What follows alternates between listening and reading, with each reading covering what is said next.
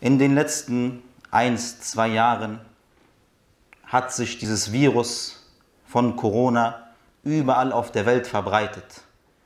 Und wir sehen, dass überall auf dieser ganzen Welt die Menschen Angst haben vor diesem Virus und jede mögliche Sicherheitsmaßnahme einnehmen, nur aufgrund von der Angst vor diesem Virus. Jedoch ist die Wahrscheinlichkeit, dass man aufgrund von diesem Virus stirbt, gering. Jedoch gibt es eine Sache, die jeden von uns erreichen wird. Egal, ob man reich ist, ob man arm ist, ob man sich versucht davor zu schützen oder nicht.